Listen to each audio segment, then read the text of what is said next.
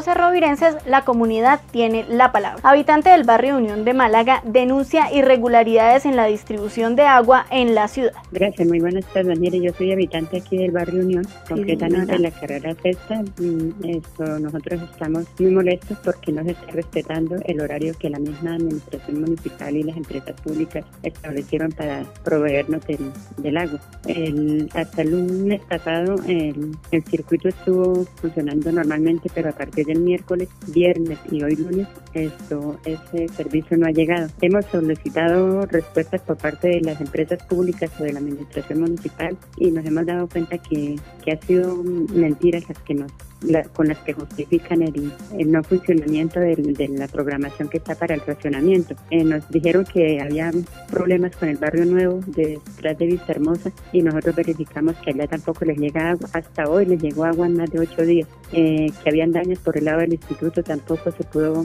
constatar que eso fuera cierto. Ahora echan la culpa de que la administración anterior no tiene planos para eh, un eficiente acueducto. Eh, nosotros no tenemos la culpa de eso y, y no podemos echarle la culpa a las malas administraciones anteriores, sino que la que está pues debe responder porque eh, no puede ser posible que para las constructoras sí haya agua porque hay evidencias de que los, los las constructoras, los edificios que están haciendo acá en Málaga, sí les están provisionando las, las aguas con carro tanques y con carro de, de los bomberos, mientras que nosotros no tenemos derecho al agua para, para el abastecimiento humano. Entonces eso es el malestar, incluso ya hay gente organizándose para hacer una protesta pública porque es que no es posible que sea prioritario las construcciones que la vida humana. Nos comunicamos con el ingeniero Wilfer Padilla, gerente de empresas públicas de Málaga, y aclaró qué sucede con el tema del agua en la ciudad. El daño en bomberos anteayer fue cierto, lo repararon los operarios, en Vista Hermosa no hay ningún daño, allá no han llegado es hasta la parte más alta, pero con el carro tanque se ha apoyado. Que el carro tanque descargando las constructoras no me consta, realmente tocaría tener una, una, un video, una foto, una denuncia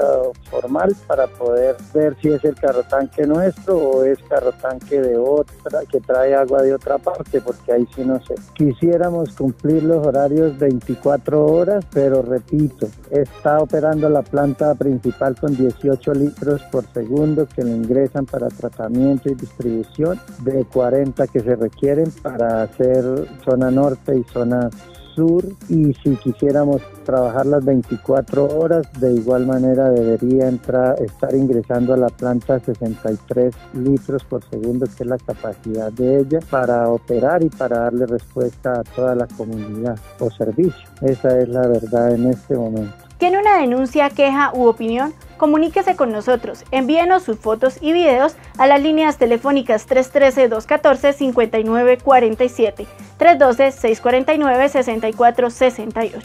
En Voces Rovirenses usted tiene la palabra.